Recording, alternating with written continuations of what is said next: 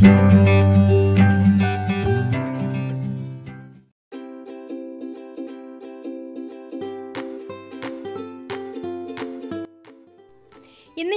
Cake recipe ആയിട്ടാണ് വന്നിട്ടുള്ളത്. നല്ല ടേസ്റ്റി ആയിട്ടുള്ള ഒരു കാരമൽ ഗ്ലേസ് കേക്കിന്റെ റെസിപ്പിയാണ് ഇന്നത്തെ വീഡിയോയിൽ ഷെയർ ചെയ്യുന്നത്. അപ്പോൾ നമുക്ക് ഇതെങ്ങനെയാണ് തയ്യാറാക്കുന്നതെന്ന് നോക്കാം. അപ്പോൾ അതിനു മുമ്പ് നിങ്ങൾ ഈ ചാനൽ ഇതുവരെ സബ്സ്ക്രൈബ് ചെയ്തിട്ടില്ലാത്തവരാണെങ്കിൽ ഈ കാണുന്ന റെഡ് സബ്സ്ക്രൈബ് ബട്ടണിൽ ഒന്ന് ക്ലിക്ക് ചെയ്യുക. അപ്പോൾ തൊട്ടടുത്തൊരു കുഞ്ഞു ബെല്ലേക്കൺ വരും. അതിലും കൂടെ ക്ലിക്ക് ചെയ്യുമ്പോൾ ഇതുപോലെ ഓൾ എന്നൊരു ഓപ്ഷൻ ഉണ്ട്. അതിലും കൂടി ഒന്ന് പ്രസ് ചെയ്യണേ. അപ്പോൾ നമുക്ക് ആദ്യം തന്നെ കേക്ക് ഉണ്ടാക്കാൻ വേണ്ട ഡ്രൈ ഇൻഗ്രീഡിയൻസ് ഒക്കെ ഒന്ന് അരിച്ചെടുക്കണം. അപ്പോൾ ഞാനിവിടെ ഒരു ബൗളിന്റെ മേലെ അരിപ്പ് വെച്ചിട്ടുണ്ട്. അതിലേക്ക് അര കപ്പ് മൈദ ഇട്ട് കൊടുത്തിട്ടുണ്ട്. ഇതിലേക്ക് അര ടീസ്പൂണ് ബേക്കിംഗ് പൗഡർ ചേർത്ത് കൊടുക്കാം. പിന്നെ കാൽ ടീസ്പൂണിന്റെ പകുതി അതായത് ഒരു നുള്ള് ബേക്കിംഗ് സോഡയും കൂടി ചേർത്ത് കൊടുത്തിട്ട് നന്നായിട്ടൊന്ന് അരിച്ചെടുക്കണം. പൊടികളെല്ലാം ഇവിടെ അരിച്ചെടുത്തിട്ടുണ്ട്. ഇനി ഇത് നന്നായിട്ട് മിക്സ് ചെയ്ത് കൊടുത്തതിന് ശേഷം നമുക്കിതൊരു സൈഡിലേക്ക് അങ്ങ് മാറ്റി വെക്കാം. ഇനി ഞാനിവിടെ ഒരു ബൗളിൽ രണ്ട് മുട്ട പൊട്ടിച്ചൊഴിച്ചിട്ടുണ്ട് ഇതിലേക്ക് മുട്ടയുടെ സ്മെല്ല് പോകാൻ വേണ്ടിയിട്ട് കാൽ ടീസ്പൂൺ വാനില എസൻസും കൂടെ ചേർത്ത് കൊടുക്കാം. അപ്പോൾ ഞാനിവിടെ ബട്ടർ സ്കോച്ച് കേക്കാണ് തയ്യാറാക്കുന്നത്. അപ്പോൾ ബട്ടർ സ്കോച്ചിന്റെ എസൻസ് ചേർത്ത് കൊടുക്കുന്നുണ്ട്. അപ്പോൾ മുട്ടയുടെ സ്മെല്ല് പോകാൻ വേണ്ടിയിട്ട് മാത്രമാണ് ഇപ്പോൾ ഞാൻ ഈ ഒരു എസൻസ് വാനില എസൻസ് ചേർത്ത് കൊടുത്തത്. ഇനി ഇത് നന്നായിട്ട് ബീറ്റ് ചെയ്തെടുക്കാം. ഇതിന്റെ കൂടെ തന്നെ കാൽ കപ്പ് പഞ്ചസാര എടുത്തിട്ടുണ്ട്. അത് കുറേശ്ശെ ചേർത്ത് കൊടുത്തിട്ട് നന്നായിട്ട് ബീറ്റ് ചെയ്തെടുക്കണം. മുട്ടയും പഞ്ചസാരയൊക്കെ ഇവിടെ നന്നായിട്ട് ബീറ്റായി വന്നിട്ടുണ്ട്. ഇതുപോലെ നല്ല ഫ്ലഫി ആവുന്നത് വരെ ബീറ്റ് ചെയ്തെടുക്കണം. എന്നാലേ നമ്മുടെ കേക്ക് നല്ല സോഫ്റ്റ് ആയിട്ട് വരുള്ളൂ. ഇനി ഇതിലേക്ക് ഒരു നുള്ളു ഉപ്പും കൂടി ചേർത്ത് കൊടുക്കാം. പിന്നെ ഞാനിവിടെ ബട്ടർ സ്കോച്ചിന്റെ എസെൻസ് എടുത്തിട്ടുണ്ട്. അത് അര ടീസ്പൂണ് ചേർത്ത് കൊടുക്കാം. ഇനി നന്നായിട്ടൊന്ന് ബീറ്റ് ചെയ്തെടുക്കണം. അപ്പോൾ ഈ എസൻസ് ഒക്കെ എല്ലാ ഭാഗത്തും എത്തുന്നത് വരെ നന്നായിട്ട് ബീറ്റ് ചെയ്തെടുക്കാം. ഇതിലേക്ക് ഒരു ടേബിൾ സ്പൂണ് ഓയിൽ ഒഴിച്ചു കൊടുക്കാം. പിന്നെ ഒരു ടേബിൾ സ്പൂണ് പാലും കൂടി ചേർത്ത് കൊടുക്കുന്നുണ്ട്. ഇനി ജസ്റ്റ് ഒന്ന് മിക്സ് ചെയ്തെടുക്കാം. ലോ സ്പീഡിലിട്ടിട്ട് ഒന്നങ്ങ് ബീറ്റ് ചെയ്തെടുത്താൽ മതി. ഓയിലും പാലും ഒക്കെ എല്ലാ ഭാഗത്തും ഒന്ന് എത്തുന്നത് വരെ ബീറ്റ് ചെയ്തെടുക്കാം. ഓയിൽ ചേർത്ത് കഴിഞ്ഞാൽ പിന്നെ കൂടുതലായിട്ട് ബീറ്റ് ചെയ്യരുത്. ഇനി നമുക്കിതിലേക്ക് അരിച്ചു വെച്ചിട്ടുള്ള പൊടി കുറേശ്ശെ ചേർത്ത് കൊടുത്തിട്ട് മിക്സ് ചെയ്തെടുക്കാം. മിക്സ് ചെയ്യുമ്പോൾ ഇതുപോലെ ഫോൾഡ് ചെയ്ത് കൊടുത്ത് മിക്സ് ചെയ്തെടുക്കണം. ഒരേ ഡയറക്ഷനിൽ തന്നെ മിക്സ് ചെയ്ത് കൊടുക്കാൻ ശ്രദ്ധിക്കുക. അപ്പോൾ നമ്മൾ ആദ്യം ഇട്ട് കൊടുത്തത് മിക്സായി വന്നിട്ടുണ്ട്. ഇനി ബാക്കിയുള്ളതും കൂടെ ഇതിലേക്ക് ചേർത്ത് കൊടുത്തിട്ട് നന്നായിട്ട് മിക്സ് ചെയ്തെടുക്കാം. അപ്പോൾ കുറേശ്ശെ കുറേശ്ശെ ചേർത്ത് കൊടുത്തിട്ട് വേണം മിക്സ് ചെയ്തെടുക്കാൻ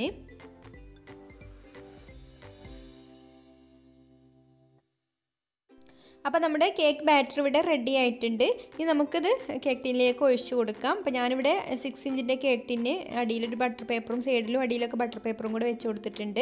ഇനി ഇതിലേക്ക് ഒഴിച്ച് കൊടുത്തിട്ട് ഞാൻ കൺവെൻഷൻ ഓവനിലാണ് ബേക്ക് ചെയ്തെടുക്കുന്നത്. നൂറ്റി എൺപത് ഡിഗ്രിയിൽ ഓവന് പത്ത് മിനിറ്റ് പ്രീ ഹീറ്റ് ചെയ്ത് വെച്ചിട്ടുണ്ട്. അപ്പോൾ ഇനി നൂറ്റി എൺപത് ഡിഗ്രിയിൽ ഒരു ഇരുപത്തഞ്ച് മുപ്പത് മിനിറ്റ് വരെ കേക്ക് ബേക്ക് ചെയ്തെടുക്കാം. അപ്പോൾ ഇനി ഓവനിലേക്ക് വെക്കുന്നതിന് മുമ്പായിട്ട് ഇതുപോലെ ഒന്ന് ടാപ്പ് ചെയ്ത് കൊടുത്തതിന് ശേഷം ബേക്ക് ചെയ്യാനായിട്ട് വെക്കാം. ഓവൻ ഇല്ലാത്തവർ ഇഡ്ഡലി പാത്രത്തിലോ കുക്കറിലോ അല്ലെങ്കിൽ നോൺ സ്റ്റിക്കിന്റെ കടായിലൊക്കെ ബേക്ക് ചെയ്തെടുക്കാം. ഏതെങ്കിലും ചുവട് കട്ടിയുള്ള പാത്രത്തിൽ വെച്ചിട്ട് നമുക്ക് കേക്ക് ഓവനിലൊക്കെ ബേക്ക് ചെയ്യുന്നത് പോലെ തന്നെ ബേക്ക് ചെയ്തെടുക്കാം. അപ്പോൾ അതിന്റെയൊക്കെ വീഡിയോ ഞാൻ മുന്നേ ഇട്ടിട്ടുണ്ട്. ഇനി കേക്ക് ബേക്കായി വരുന്ന സമയം കൊണ്ട് നമുക്ക് ഫ്രോസ്റ്റിങ്ങിന് വേണ്ട വിപ്പിംഗ് ക്രീമൊക്കെ ഒന്ന് ബീറ്റ് ചെയ്തെടുക്കാം. വിപ്പിംഗ് ക്രീം ഇതുപോലെ നല്ല സ്റ്റിഫ് പീക്സ് വരുന്നത് വരെ ബീറ്റ് ചെയ്തെടുക്കണം. അപ്പോൾ കേക്ക് ഇവിടെ ബേക്കായി വന്ന് ഇപ്പോൾ നന്നായിട്ട് ചൂടാറിയിട്ടുണ്ട്. ഇനി നമുക്ക് കേക്കിനെ ഫ്രോസ്റ്റിംഗ് ചെയ്യാൻ വേണ്ടിയിട്ട് മൂന്ന് ലെയറാക്കി ഒന്ന് കട്ട് ചെയ്തെടുക്കാം. രണ്ടായിട്ട് ലെയർ ചെയ്യണമെന്നുണ്ടെങ്കിൽ അങ്ങനെ ചെയ്താൽ മതി. അപ്പോൾ ഞാനിപ്പോൾ ഇവിടെ മൂന്ന് ലെയറാക്കിയാണ് എടുക്കുന്നത്. കുറച്ച് തിന്നായിട്ട് ലെയറാവും കിട്ടുക ചെറിയ കേക്കായതുകൊണ്ട് അപ്പോൾ കേക്ക് ഇവിടെ മൂന്ന് ലെയറാക്കി എടുത്തിട്ടുണ്ട്. ഇനി നമുക്ക് കേക്കിന് ഫ്രോസ്റ്റിംഗ് ചെയ്യാൻ വേണ്ടിയിട്ട് കേക്ക് ബോർഡിൽ നടുക്ക് കുറച്ച് ക്രീമാക്കി കൊടുക്കാം. കേക്ക് അങ്ങോട്ടും ഇങ്ങോട്ടും ഒന്ന് നീങ്ങി പോവാതിരിക്കാൻ വേണ്ടിയിട്ട്. എന്നിട്ട് ഫസ്റ്റ് ലെയർ കേക്ക് വെച്ച് കൊടുത്തിട്ട് ഷുഗർ സിറപ്പ് ഒഴിച്ചൊന്ന് വെറ്റാക്കി എടുക്കാം.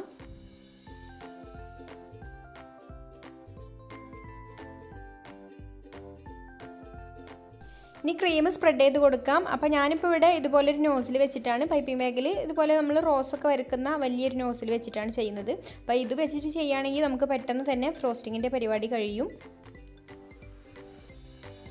ഇനി ഇതിന്റെ മുകളിൽ ബട്ടർ സ്കോച്ച് സോസ് ഒഴിച്ചു കൊടുക്കാം. അപ്പോൾ ഈ സോസിന്റെ വീഡിയോ ഞാൻ ഇതിൽ ഉൾപ്പെടുത്തിയിട്ടില്ല. അതിന്റെ ലിങ്ക് ഞാൻ ഡിസ്ക്രിപ്ഷൻ ബോക്സിൽ കൊടുക്കാം. അത് ഞാൻ സെപ്പറേറ്റ് വീഡിയോ ആയിട്ട് തന്നെ ചെയ്തിട്ടുണ്ട്. നല്ല പെർഫെക്റ്റ് ആയിട്ടുള്ള ബട്ടർ സ്കോച്ച് സോസ് എങ്ങനെയാണ് തയ്യാറാക്കുന്നത് എന്നുള്ള വീഡിയോ ഉണ്ട് കേട്ടോ. അപ്പോൾ കാണാത്തവരുണ്ടെങ്കിൽ ഒന്ന് കണ്ടു നോക്കുക. ലിങ്ക് ഞാൻ ഡിസ്ക്രിപ്ഷൻ ബോക്സിൽ കൊടുക്കാം. ഇനി ചെറുതായിട്ട് സോസ് ഒഴിച്ച് കൊടുത്തു കഴിഞ്ഞാൽ ഈ ക്രീമിൽ ഇതൊന്ന് ചെറുതായിട്ട് ഒന്ന് സ്പ്രെഡ് ചെയ്ത് കൊടുക്കാം.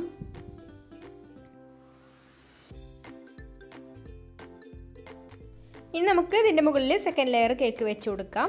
എന്നിട്ട് ഷുഗർ സിറപ്പ് ഒഴിച്ച് വെറ്റാക്കി കൊടുത്തതിന് ശേഷം ആദ്യം ചെയ്ത പോലെ തന്നെ ക്രീം സ്പ്രെഡ് ചെയ്ത് കൊടുക്കാം.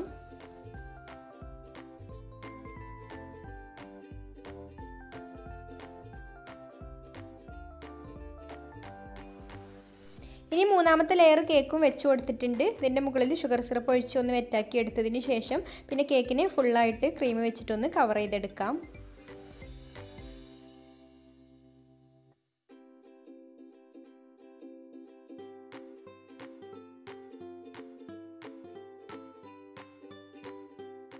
കേക്കിനെ ഇതുപോലെ ഫുള്ളായിട്ട് ക്രീം കൊണ്ട് കവർ ചെയ്ത് കൊടുത്തതിന് ശേഷം പാലറ്റ് നൈഫ് വെച്ചിട്ട് നന്നായിട്ടൊന്ന് സ്മൂത്ത് ആക്കി എടുക്കണം.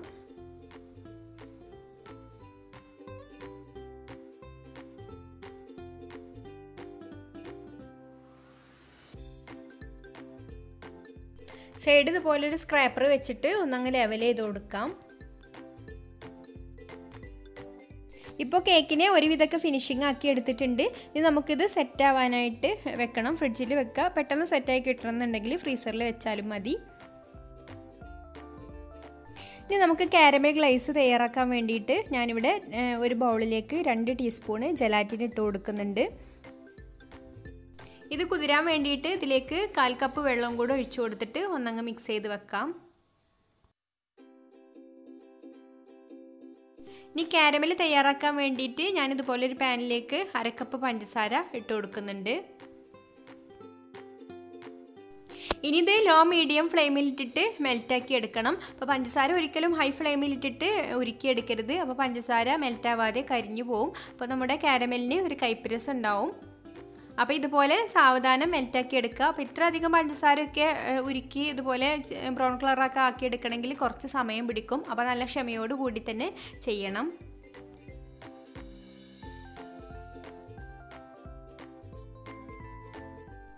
ഇതുപോലെ നല്ലൊരു ബ്രൗൺ കളർ ആവുന്ന സമയത്ത് നമുക്കിത് ഫ്ലെയിമിൽ നിന്ന് ഒന്നങ്ങ് മാറ്റി വെച്ച ശേഷം ഇതിലേക്ക് അല്പം ചൂടുവെള്ളം ഒഴിച്ചു കൊടുക്കാം. ചൂടുവെള്ളം ഒഴിച്ചു കൊടുത്ത് ഈ വെള്ളവും കാരമലൊക്കെ ഒന്ന് നന്നായിട്ട് മിക്സായി വന്നതിന് ശേഷം പിന്നെ നമുക്കിത് വീണ്ടും ഫ്ലെയിമിലേക്ക് വെച്ചിട്ട് ഇതിലേക്ക് ഫ്രഷ് ക്രീം ഒഴിച്ചു കൊടുക്കാം. വെള്ളവും ഫ്രഷ് ക്രീമൊക്കെ ആവശ്യത്തിന് ഒഴിച്ചു കൊടുക്കാം. ആദ്യം ഇതുപോലെ ഒരു അരക്കപ്പ് വെള്ളവും പിന്നെ ഒരു കാൽ കപ്പ് ഫ്രഷ് ക്രീമുമാണ് ഞാൻ ഒഴിച്ചു കൊടുത്തത്. അപ്പോൾ നിങ്ങൾക്ക് ഓരോരുത്തർക്കും ഓരോ ടേസ്റ്റ് ആവും ഇഷ്ടമുണ്ടാവുക അപ്പോൾ മധുരം നോക്കിയിട്ട് ഇത് മിക്സായി വന്നതിന് ശേഷം ടേസ്റ്റ് ചെയ്ത് നോക്കി. മധുരം കൂടുതലുണ്ടെങ്കിൽ പിന്നെ വീണ്ടും ഫ്രഷ് ക്രീമും വെള്ളമൊക്കെ ഒഴിച്ചു കൊടുത്താൽ മതി. ഇനി നമുക്കിതിലേക്ക് വേറെ ഇൻഗ്രീഡിയൻസ് ഒക്കെ ചേർത്ത് കൊടുക്കാനുണ്ട്. അപ്പോൾ ഞാൻ മിക്സ് ചെയ്യാനുള്ള സൗകര്യത്തിന് വേണ്ടിയിട്ട് ഞാനിത് മറ്റൊരു പാത്രത്തിലേക്ക് മാറ്റിയിട്ടുണ്ട്. അപ്പോൾ ഇതുപോലെ വിസ്ക് വെച്ചിട്ട് മിക്സ് ചെയ്തെടുക്കുകയാണെങ്കിൽ ഫ്രഷ് ക്രീമൊക്കെ ഇതിൽ പെട്ടെന്ന് തന്നെ മിക്സ് ആയിട്ട് കിട്ടും. ഇതിലേക്ക് ഞാനിപ്പോൾ കാൽ കപ്പ് വെള്ളവും കൂടെ ഒഴിച്ചു കൊടുത്തിട്ടുണ്ട്. ഇനി ഇതിലേക്ക് ഒരു ടീസ്പൂണും കോൺഫ്ലവർ ഒരു രണ്ട് ടേബിൾ സ്പൂണ് വെള്ളത്തിലൊന്ന് മിക്സാക്കി എടുത്തതും കൂടെ ഇതിലേക്ക് ചേർത്ത് കൊടുത്തിട്ടുണ്ട്. ഇനി കൈയെടുക്കാതെ ഇളക്കിക്കൊണ്ടിരിക്കണം. എന്നിട്ട് ചെറുതായിട്ടൊന്ന് തിളച്ച് വരുന്ന സമയത്ത് നമുക്ക് ഫ്ലെയിം ഓഫ് ആക്കാം.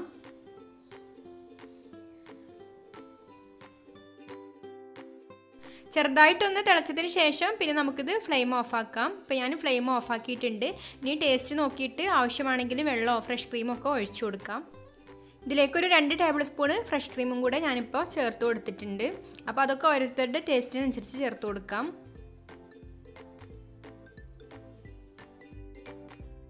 ഇനി ഇതിലേക്ക് ജലറ്റിന് ഉരുക്കിയത് ചേർത്ത് കൊടുക്കാം. ജലറ്റിന് ഞാനിവിടെ ഡബിൾ ബോയിലിംഗ് രീതിയിൽ ഉരുക്കി എടുത്തിട്ടുള്ളതാണ് ഇതും കൂടെ ചേർത്ത് നന്നായിട്ടൊന്ന് മിക്സ് ചെയ്യണം. ഇനി ഇതൊന്ന് അരിച്ചെടുത്തിട്ട് നന്നായിട്ട് ചൂടാറിയതിന് ശേഷം വേണം കേക്കിന്റെ മുകളിൽ ഒഴിച്ചു കൊടുക്കാൻ.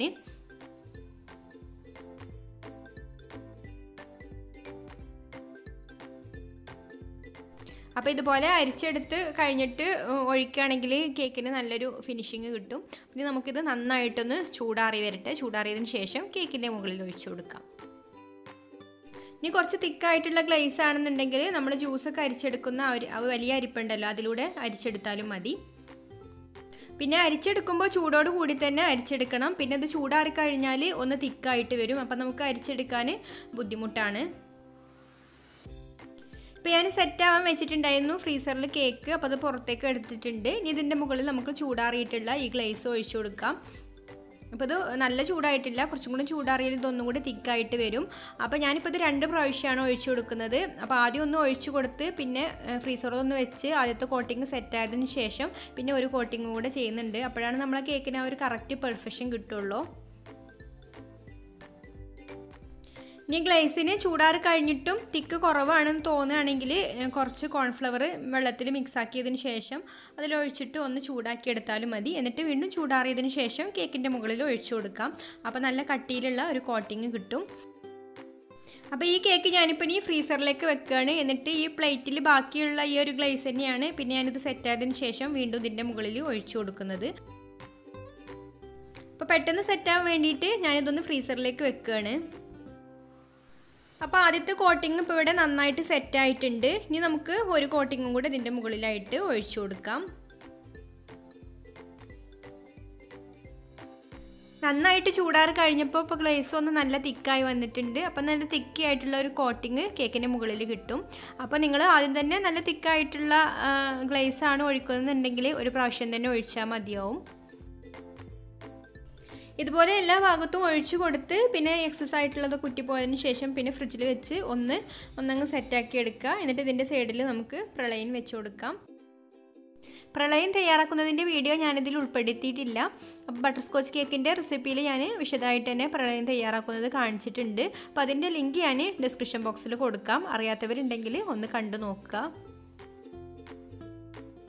ഇനി കേക്ക് ഫ്രിഡ്ജിൽ വെച്ച് നന്നായിട്ടൊന്ന് തണുപ്പിച്ചെടുക്കാം.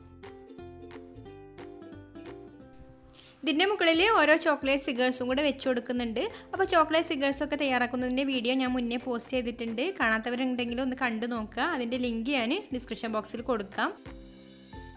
അപ്പോൾ നല്ല ടേസ്റ്റി ആയിട്ടുള്ള ഈ കാരമൽ ഗ്ലേസ് കേക്കിന്റെ റെസിപ്പി എല്ലാവർക്കും ഇഷ്ടമായിട്ടുണ്ടാവുമെന്ന് വിചാരിക്കുന്നു. ഇഷ്ടമായിട്ടുണ്ടെങ്കിൽ ലൈക്ക് ചെയ്യുക ഷെയർ ചെയ്യുക നിങ്ങളുടെ അഭിപ്രായങ്ങളൊക്കെ കമന്റ് ബോക്സിലൂടെ അറിയിക്കുക. പിന്നെ ഈ ചാനൽ സബ്സ്ക്രൈബ് ചെയ്തിട്ടില്ലാത്തവരാണെങ്കിൽ ഒന്ന് സബ്സ്ക്രൈബും കൂടെ ചെയ്യണേ. അപ്പം ഇനി മറ്റൊരു നല്ല റെസിപ്പിയുമായിട്ട് അടുത്ത വീഡിയോയിൽ കാണാം. Thanks for watching